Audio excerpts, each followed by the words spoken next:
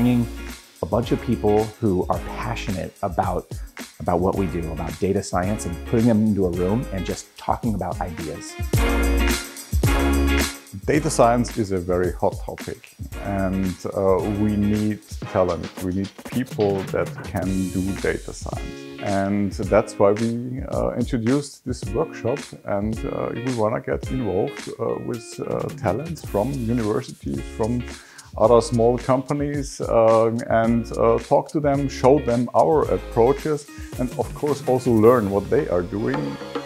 We've got people from a number of different countries. So far I've met people from the US, from Germany, from Switzerland, Spain, the UK, all different, all different places. And we're having a lot of fun and interactive sessions through presentations and very interactive poster sessions where people are presenting their research and having conversations about it.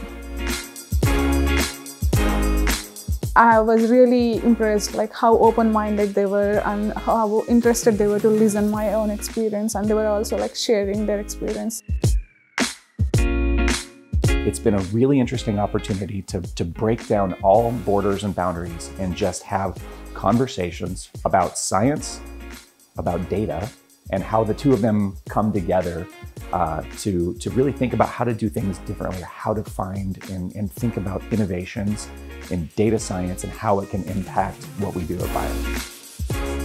For me as a translational scientist, really being able to interact with a lot of scientists who are at that bench level, but also at uh, what they call the bedside level. So people who are doing all segments of science, whether it's basic, wet lab kind of work, or people who are more focused on clinical applications of basic science, really being able to get that uh, mix and interaction with other scientists.